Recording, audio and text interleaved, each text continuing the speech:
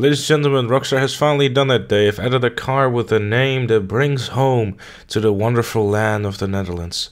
The Declasse Tulip muscle car is now available in the Southern San Andreas Super Auto store. But just like with every other car, if you want to find out just how good this car actually is, you know where to go to, Broughy1322.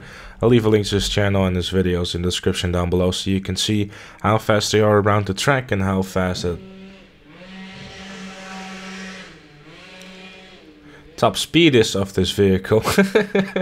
Thanks neighbors. You Annoying neighbors aside, there's also double cash in RP of course in GTA Online this week in Tiny Racers, Dawn Raids, Overtime Rumble, and also Power Mad. Alongside that, there's also double cash in Smugglers Run cargo sales as well. Now, personally, I'm not a huge fan of the Smugglers Run cargo, to be honest, at all. If you're a bit desperate for cash and you have a friend uh, that also needs some money, then my advice would be to kind of go back and forth with sourcing this material and slowly but surely get your hangar all filled up and then it's time for a good old sale.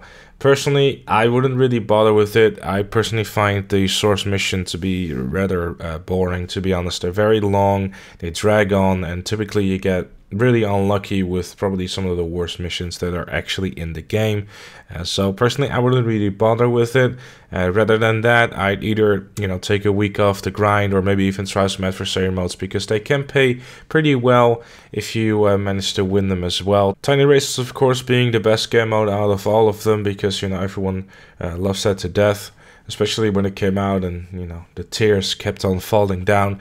Uh, Dawn Raid out of all of them I feel is probably the, the best one. Uh, Power Mad can also be a very interesting game mode too so uh, if I were you between those two modes I'd check out Dawn Raid and Power Mad. They're quite good modes and you can have a good time with them as well so definitely worth checking out. Discounts this week there's 40% off Hangars, 25% off the Strike Force and the Menacer and also 35% of the Havoc, the Starling, the Autarch, and then 30% off the Tezeract, the Swinger, and the Stafford. If you want my personal advice uh, on these discounts, uh, I'd say that if you don't already own a hangar and you're someone that is a big fan of like having more aircraft in your arsenal, then obviously it's very much worth it to pick it up because some of the new aircraft that are being added to the game, you all need a hangar for. If you're looking for something different to drive, then a Wagner, the Autarch is something that comes very close to it and I feel is also a very interesting vehicle vehicle to drive too.